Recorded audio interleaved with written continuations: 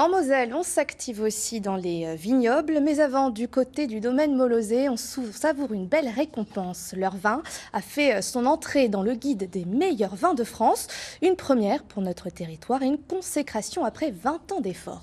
Benoît Bourg, Guillaume Robin. Norbert et Marie-Geneviève Molosé ont repris cette exploitation en 1999. Patiemment, ils ont modernisé leur outil de production pour vinifier dans les meilleures conditions. Dernièrement, ils ont investi un million d'euros dans l'acquisition et la rénovation de cet ancien chai.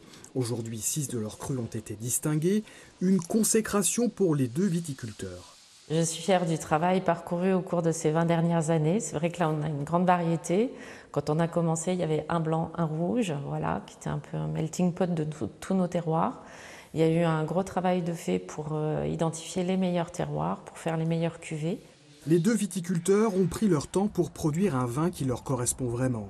Ils ont replanté des vignes sur des parcelles abandonnées il y a plusieurs années. La surface de leur domaine est ainsi passée de 4 hectares et demi à 15.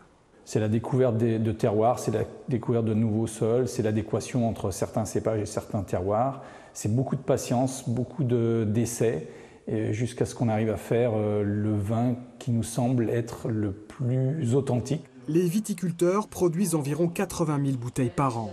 Avec cette entrée dans le guide des meilleurs vins, ils s'attendent à gagner en notoriété. Forcément, il y a des cavistes en France et peut-être même à l'étranger qui vont nous contacter et puis aussi des, clients particuliers qui vont vouloir découvrir euh, le vin de Moselle qu'ils ne connaissent pas euh, aujourd'hui. Une récompense qui devrait donc contribuer à la renommée des vins de Moselle, une des plus petites appellations d'origine contrôlée de France, avec seulement 70 hectares de vignes plantées.